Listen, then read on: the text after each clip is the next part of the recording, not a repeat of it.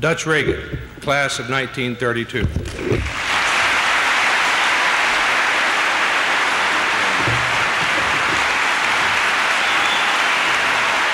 Thank you very much.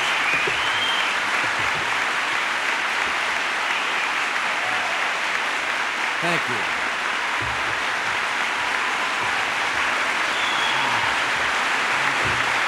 Thank you.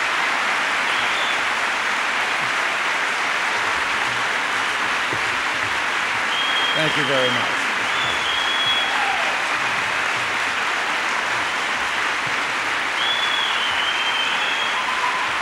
Thank you. President Gilbert, trustees, administration, and faculty, students, and the friends of Eureka College, and particularly those whose day this is, the graduating class of 82. The-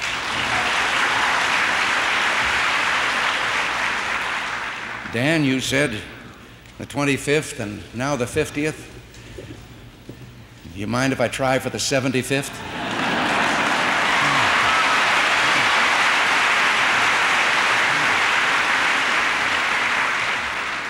But it goes without saying that this is a very special day for you who are graduating. Would you forgive me if I say it's a very special day for me also? Over the years since I sat where you of the graduating class of 1982 are now sitting, I've returned to the campus many times, always with great pleasure and warm nostalgia. Now, it just isn't true that I only came back this time to clean out my gym locker. On one of those occasions, as you've been told, I addressed a graduating class here neath the elms and was awarded an honorary degree. And at that time, I informed those assembled that while I was grateful for the honor, it added to a feeling of guilt I'd been nursing for 25 years because I always figured the first gr- degree they gave me was honorary. now, if it's true that tradition is the glue holding civilization together, then Eureka has made its contribution to that effort. Yes, it is a small college in a small community. It's no impersonal assembly line diploma mill. As the years pass, if you have let yourselves absorb the spirit and tradition of this place, you'll find the four years you've spent here living in your memory as a rich and important part of your life. Oh, you'll have some regrets along with the happy memories. I let football and other extracurricular activities eat into my study time with the result that my grade average was closer to the C level required for eligibility than it was to straight A's. And even now, I wonder what I might have accomplished if I'd studied harder.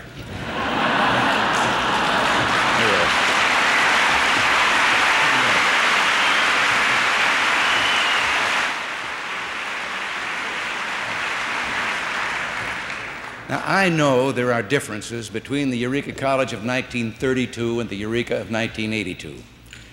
But I'm also sure that in many ways, important ways, Eureka remains the same. For one thing, it's impossible for you now to believe what I've said about things being the same. We who preceded you understand that very well, because when we were here, we thought old grads who came back only after five years, not 50, couldn't understand what our life was like and what had taken place and changed. So take my word for it. As the years go by, you'll be amazed at how fresh the memory of these years will remain in your minds, how easily you can relive the very emotions that you experienced.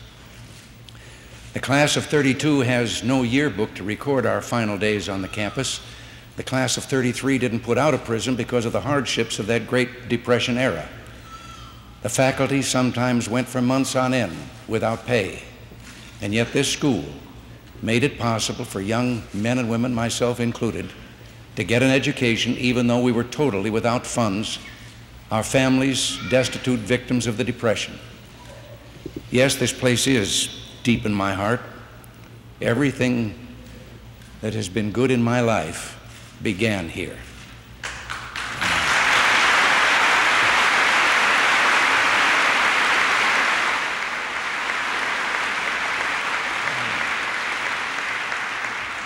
Graduation Day is called commencement, and properly so, because it is both a recognition of completion and a beginning.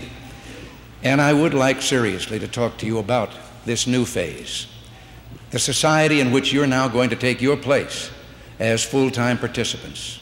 You're no longer observers. You'll be called upon to make decisions and express your views on global events because those events will affect your lives. I've spoken of similarities and the 1980s, like the 1930s, may be one of those. A crucial juncture in history that will determine the direction of the future. In about a month, I will meet in Europe with the leaders of nations who are our closest friends and allies. At Versailles, leaders of the industrial powers of the world will seek better ways to meet today's economic challenges. In Bonn, I will join my colleagues from the Atlantic Alliance nations to renew those ties which have been the foundation of Western free world defense for 37 years. There will also be meetings in Rome and London. Now, these meetings are significant for a simple but very important reason. Our own nation's fate is directly linked to that of our sister democracies in Western Europe. The values for which America and all democratic nations stand represent the culmination of Western culture. Andrei Sakharov, the distinguished Nobel laureate and courageous Soviet human rights advocate, has written in a message smuggled to freedom I believe in Western man. I have faith in his mind, which is practical and efficient, and at the same time aspires to great goals. I have faith in his good intentions and in his decisiveness. This glorious tradition requires a partnership to preserve and protect it. Only as partners can we hope to achieve the goal of a peaceful community of nations. Only as partners can we defend the values of democracy and human dignity that we hold so dear. There is a single major issue in our partnership which will underlie the discussions that I will have with the European leaders the future of Western relations with the Soviet Union. How should we deal with the Soviet Union in the years ahead? What framework should guide our conduct and our policies toward it? And what can we realistically expect from a world power of such deep fears, hostilities, and external ambitions? I believe the unity of the West is the foundation for any successful relationship with the East. Without Western unity, we'll squander our energies in bickering while the Soviets continue as they please. With unity, we have the strength to moderate Soviet behavior. We've done so in the past and we can do so again. Our challenge is to establish a framework in which sound East West relations will endure. I'm optimistic that we can build a more constructive relationship with the Soviet Union. To do so, however, we must understand the nature of the Soviet system and the lessons of the past. The Soviet Union is a huge empire ruled by an elite that holds all power and all privilege, and they hold it tightly because, as we've seen in Poland, they fear what might happen if even the smallest amount of control slips from their grasp.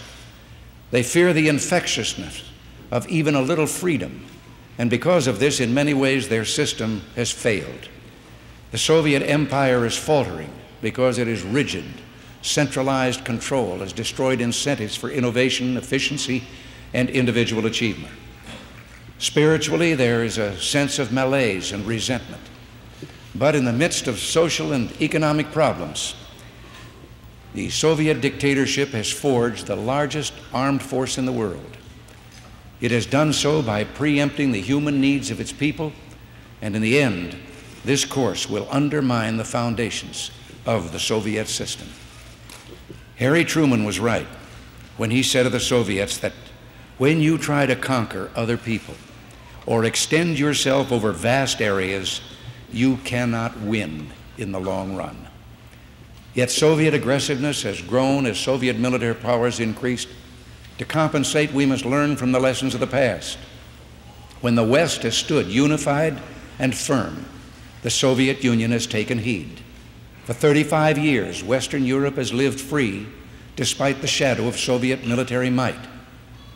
Through unity, you'll remember from your modern history courses the West secured the withdrawal of occupation forces from Austria and the recognition of its rights in Berlin. Other Western policies have not been successful. East West trade was expanded in the hope of providing incentives for Soviet restraint. But the Soviets exploited the benefits of trade without moderating their behavior. Despite a decade of ambitious arms control efforts, the Soviet buildup continues. And despite its signature of the Helsinki Agreements on Human Rights, the Soviet Union has not relaxed its hold on its own people or those of Western Europe. During the 1970s, some of us forgot the warning of President Kennedy, who said that the Soviets have offered to trade us an apple for an orchard. We don't do that in this country. But we came perilously close to doing just that. If East West relations in the detente era in Europe have yielded disappointment, detente outside of Europe has yielded a severe disillusionment for those who expected a moderation of Soviet behavior. The Soviet Union continues to support Vietnam in its occupation of Kampuchea and its massive military presence in Laos. It is engaged in a war of aggression against Afghanistan. Soviet proxy forces have brought instability and conflict to Africa and Central America. We are now approaching an extremely important phase in East West relations as the current Soviet leadership is succeeded by a new generation. Both the current and the new Soviet leadership should realize aggressive policies will meet a firm Western response. On the other hand, a Soviet leadership devoted to improving its people's lives rather than expanding its armed conquests will find a sympathetic partner in the West. The West will respond with expanded trade and other forms of cooperation. But all of this depends on Soviet actions Standing in the Athenian marketplace 2,000 years ago, Demosthenes said, What sane man would let another man's words rather than his deeds proclaim who is at peace and who is at war with him? Peace is not the absence of conflict, but the ability to cope with conflict by peaceful means. I believe we can cope. I believe that the West can fashion a realistic, durable policy that will protect our interests and keep the peace, not just for this generation, but for your children and your grandchildren. I,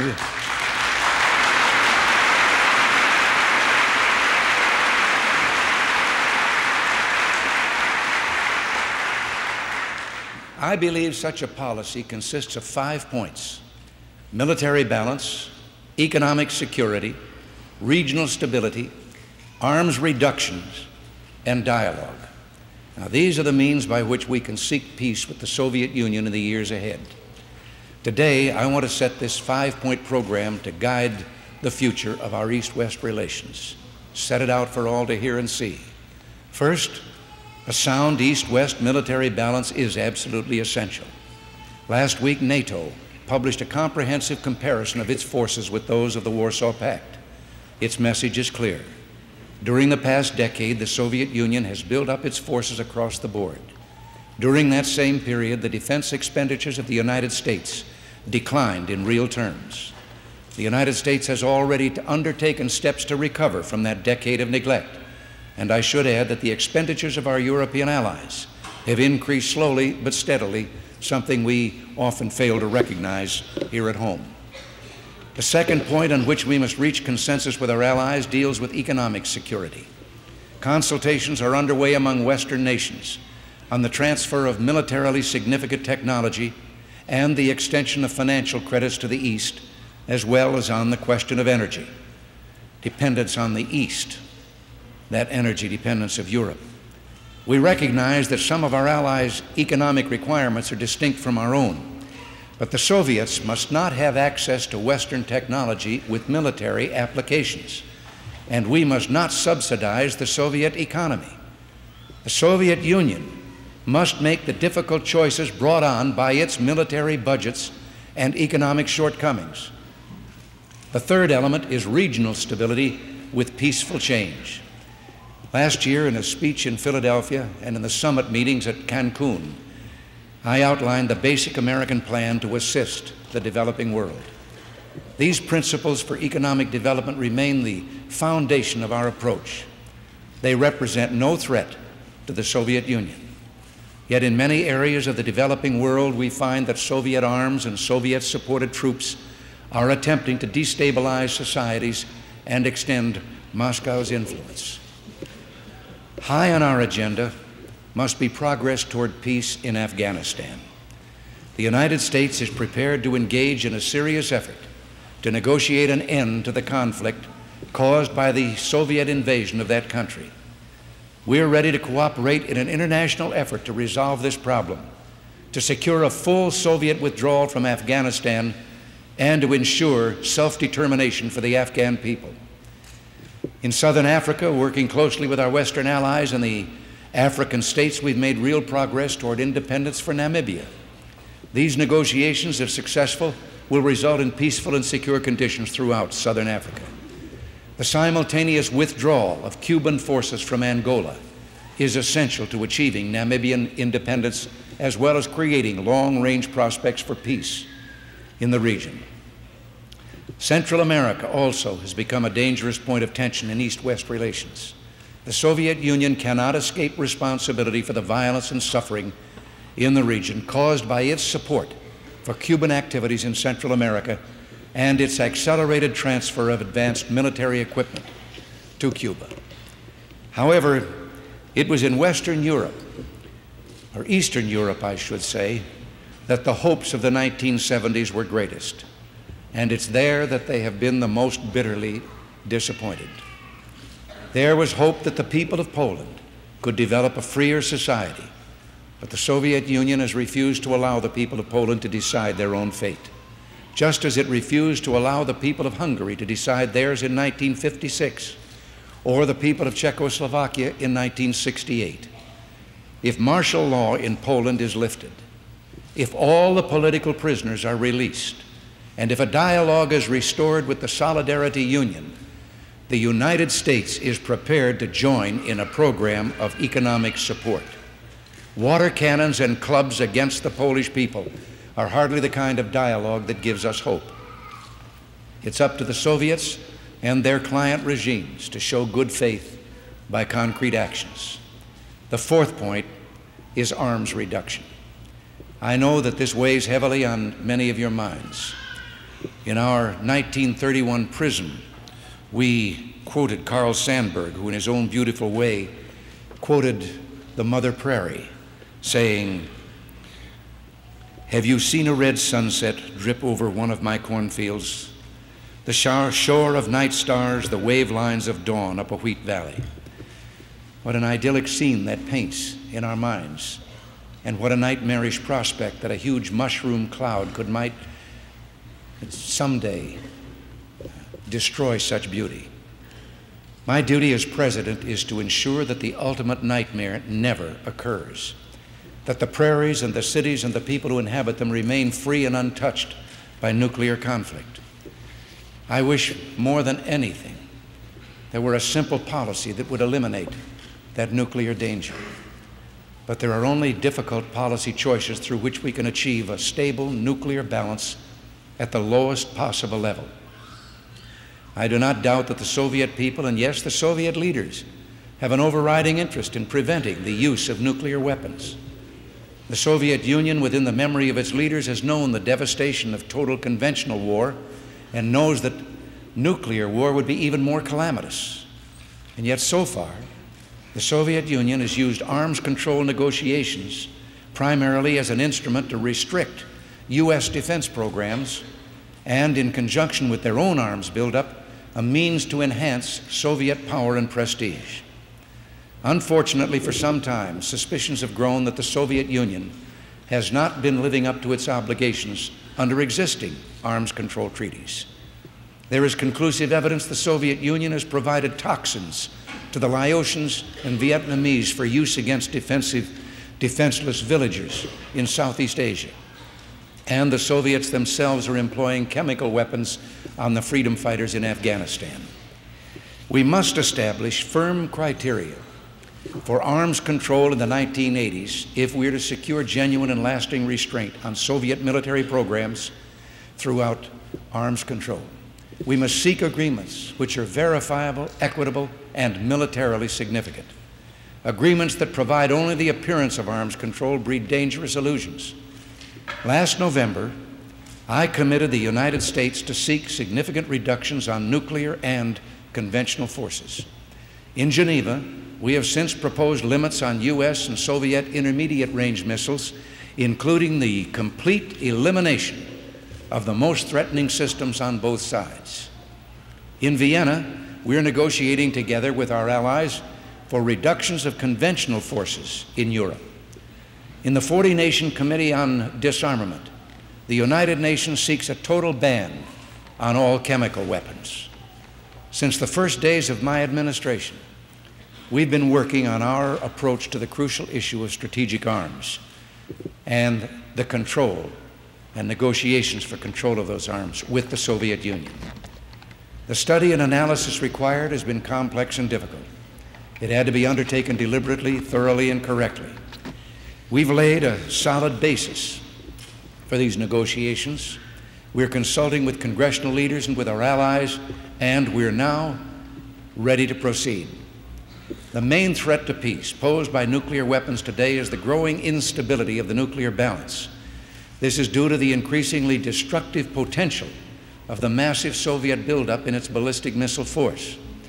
Therefore, our goal is to enhance deterrence and achieve stability through significant reductions in the most destabilizing nuclear systems, ballistic missiles, and especially the giant intercontinental ballistic missiles, while maintaining a nuclear capability sufficient to deter conflict to underwrite our national security and to meet our commitment to allies and friends. For the immediate future, I'm asking my start, and start really means we've given up on SALT. START means strategic arms reduction talks. And that negotiating team to propose to their Soviet counterparts a practical, phased reduction plan the focus of our efforts will be to reduce significantly the most destabilizing systems, the ballistic missiles, the number of warheads they carry, and their overall destructive potential. At the first phase, or the end of the first phase of START, I expect ballistic missile warheads, the most serious threat we face, to be reduced to equal levels, equal ceilings, at least a third below the current levels. To enhance stability, I would ask that no more than half of those warheads be land based. I hope that these warhead reductions, as well as significant reductions in missiles themselves, could be achieved as rapidly as possible. In a second phase, we'll seek to achieve an equal ceiling on other elements of our strategic nuclear forces, including limits on the ballistic missile throw weight at less than current American levels. In both phases, we shall insist on verification procedures to ensure compliance with the agreement.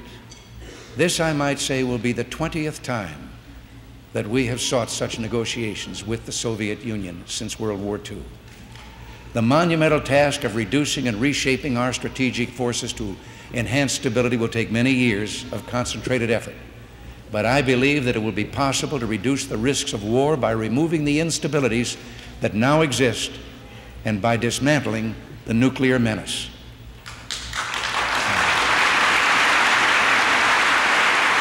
Confident that together we can achieve an agreement of enduring value that reduces the number of nuclear weapons, halts the growth in strategic forces, and opens the way to even more far reaching steps in the future. I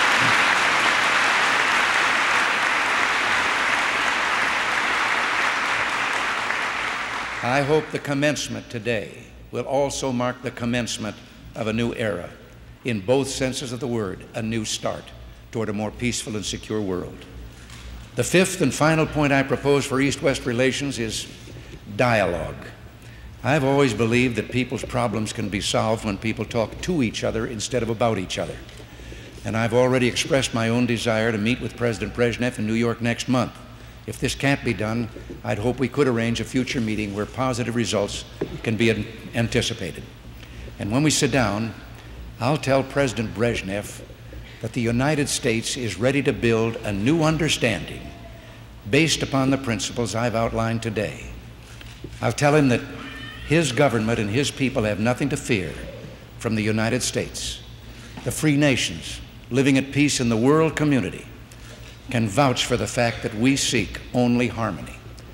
And I'll ask President Brezhnev why our two nations can't practice mutual restraint. Why can't our peoples enjoy the benefits that would flow from real cooperation? Why can't we reduce the number of horrendous weapons? Perhaps I should also speak to him of this school and these graduates who are leaving it today, of your hopes for the future, of your deep desire for peace, and yet your strong commitment to defend your values if threatened. Perhaps if he someday could attend such a ceremony as this, he'd better understand America. In the only system he knows, you would be here by the decision of government, and on this day, the government representatives would be here telling most, if not all of you, where you were going to report to work tomorrow. But as we go to Europe for the talks and as we proceed in the important challenges facing this country, I want you to know that I will be thinking of you and of Eureka and what you represent. In one of my yearbooks, I remember reading that the work of the prairie is to be the soil for the growth of a strong Western culture. I believe Eureka is fulfilling that work. You, the members of the 1982 graduating class, are this year's harvest. I spoke of the difference between our two countries. I try to follow the humor of the Russian people. We don't hear much about the Russian people. We hear about the Russian leaders. But you can learn a lot because they do have a sense of humor, and you can learn from the jokes they're telling. And one of the most recent jokes I found kind of, well, personally interesting. Maybe you might tell you something about their country. The joke they tell is that an American and a Russian were arguing about the differences between our two countries. And the American said, Look, in my country, I can walk into the Oval Office, I can hit the desk with my fist and say, President Reagan, I don't like the way you're governing the United States. And the Russian said, I can do that. The American said, What? He says, I can walk into the Kremlin, into Brezhnev's office, I can pound Brezhnev's desk, and I can say, Mr. President, I don't like the way Ronald Reagan is governing the United States.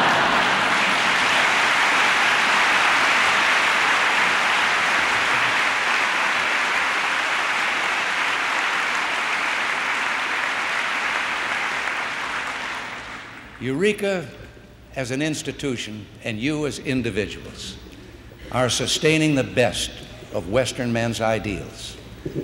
As a fellow graduate and in the office I hold, I'll do my best to uphold these same ideals. To the class of 82, congratulations and God bless you.